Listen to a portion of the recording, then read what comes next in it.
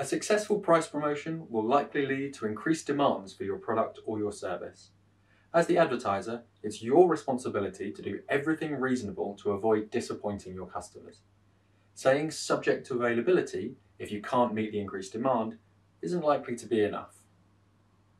The key takeaway from this video is that you need to make a reasonable estimate of what you think the take-up of your promotion will be before you run it. It's a requirement of the advertising rules, and if someone was to submit a complaint about your promotion, you would be asked to provide proof of those calculations you made. One way you can make an estimate would be to look at the sales figures for a similar promotion you've run in the past. But you'll need to factor in anything that might make your new promotion more popular. Now these things can vary, but they might be things like the days of the week or the time of year.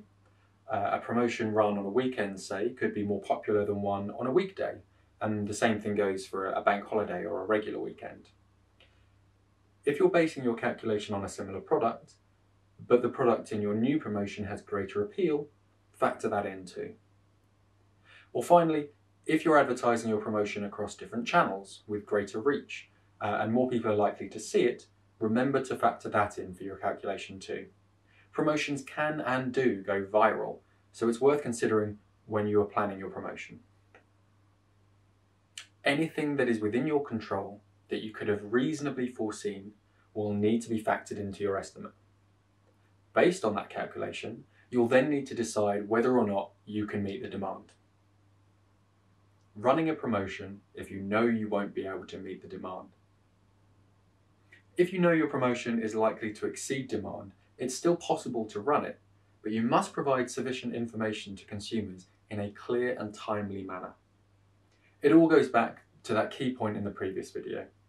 As the advertiser, it's up to you to provide the consumer with all the information they need to make an informed decision about whether or not they take advantage of your price promotion. Saying subject to availability or while stocks last probably won't be enough.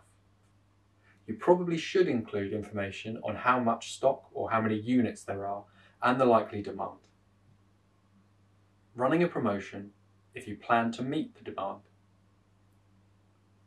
If you've done your estimate of your likely uptake of your promotion and decided that you can meet the demand, the ASA will expect you to take all reasonable steps to do so. However, sometimes there are circumstances that are out of your control that result in an unexpectedly high response. If you can't supply the demand for a price promotion for reasons that are genuinely out of your control and that you couldn't have anticipated, you have to let your customers know in a relevant and timely manner. Up next, we'll be talking about different types of charges and when you do and don't have to include them in the advertised price of your product or service. I'll see you in the next one.